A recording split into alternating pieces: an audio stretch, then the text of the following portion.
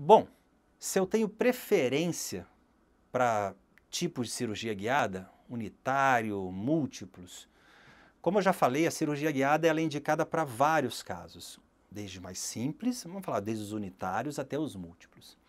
Mas sim, eu tenho uma preferência. A cirurgia guiada, para mim, ela é mais indicada para elementos unitários.